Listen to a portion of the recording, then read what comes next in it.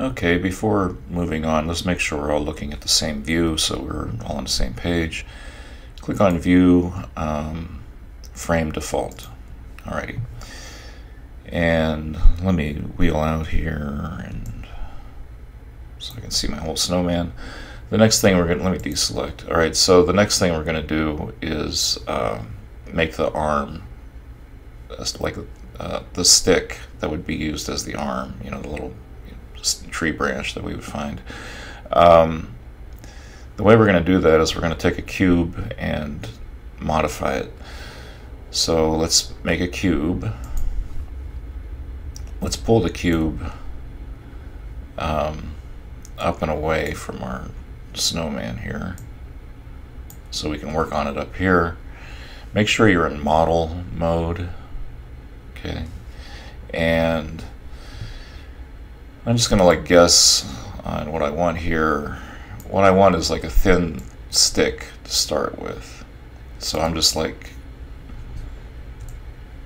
just purely by sight, just like trying to figure out like how big do I want this thing. So I can see that it's that's way too wide. But if I zoom in here and pan around, this takes practice the width looks okay. So let me uh, take a look over my parameters here. My Z width is 4. So I think 4, a 4 by 4 stick is going to look good. So if I change Z to 4 and change X to 4, that looks pretty good. Um, relative to my size of my snowman, it, you know, I think that'll work pretty good. And 200 centimeters looks looks pretty decent.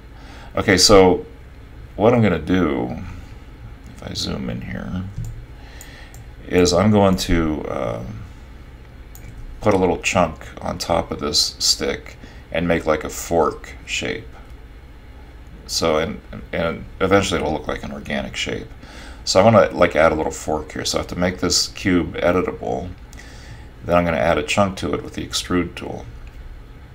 So I'm going to make this editable meaning um, I'm about to make a drastic change on this. So my suggestion would be to save your work so far and, and do a save incremental. So let's do a Command S. So, because we're going to be working on this thing. If we mess it up, we can always come back. Click File, Save Incremental, and if you look up at the top of your workspace, it'll increment to 1. So we're at 003 if you've been following along uh, exactly with the videos. Okay, now let's make this object editable. So we can hit the letter C on the keyboard, or we can come over here and click this. Now it is editable. And again, the strategy is to add a chunk onto the top of it. And using the camera, I'm, I'm using a combination of the pan and tumble thing. So I'm gonna, I want to see the very top of this 4x4 stick. I'm going to extrude a little little chunk out of this, just a little one, and then make like a make a fork on the top of it. Use that, we use the extrude tool. I did cover this in the intro videos uh, a little bit, but it's new. There's a couple ways you can get to the extrude tool.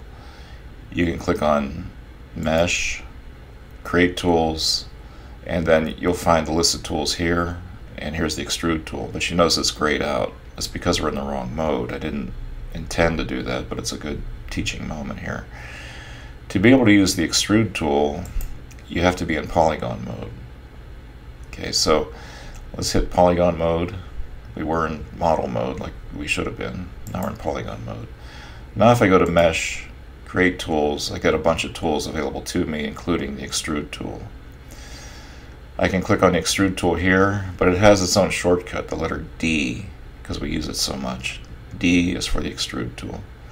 Another way to get to the extrude tool is if you hit the letter M for menu, you'll get, whoops, M for menu, you get the readout of how to access a whole bunch of tools. So if you hit M, if you look down a list, if you hit the letter T, it'll bring up the extrude tool.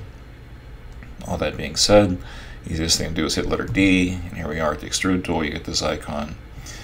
What you're going to do is hover over the very top polygon, the very top polygon on your stick, click once. You do not have to be on the object with the extrude tool. You can just come over anywhere in your workspace, click, hold, and drag, and just make a nice little chunk like that.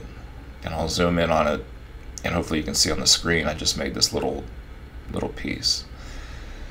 Now, what I am going to do is, uh, let me see if I can tumble around here a little bit, is pull and extrude this way, and then we're going to go up. So I'm going to select this polygon on the side along the x-axis, click, hold, and drag, and I'm going to give myself some room here to work.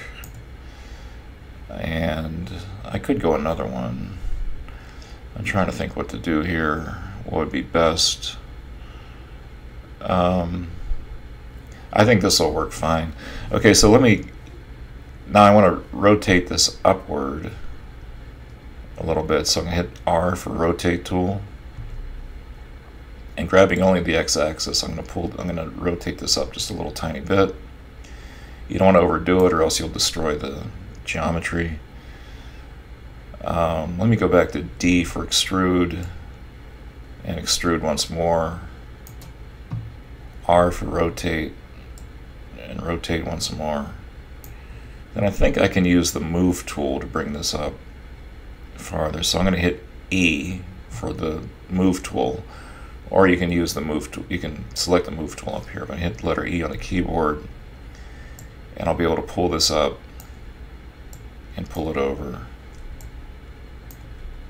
And let me try to frame this. Let me hit S on the keyboard to frame this. There we go. Um, I don't want to go too crazy with this. I want to get something like that. Okay, and I think that'll be sufficient. If you want to make it, when we make this organic, it'll it'll get pointy, but if you want to hit the scale tool, oops, I hit the wrong, hit the scale tool, which is the letter T, you can scale this in just a little bit to make a, a pointy object. If, you've done, if this is the very first time you're doing this, uh, don't scream in frustration, you'll get it. Okay, now I'm going to um, activate the extrude tool again, D, grab this piece, click, hold, and drag, and make a nice piece up here like this, hit the letter T for scale tool, and just bring it in a little bit and make it pointy. And if I want, I can hit the E tool or E for move tool and bring this up a little bit. Okay. Um, I can move it a little. So that is what I got.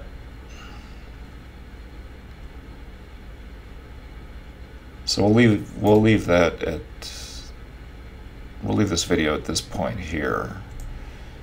If uh, some of that was a little bit confusing, and it could have been rightfully confusing, just keep, uh, rewind the video and take a look at it until you get a shape like this on top of your 200 meter long um, cube, and I'll see you in the next video.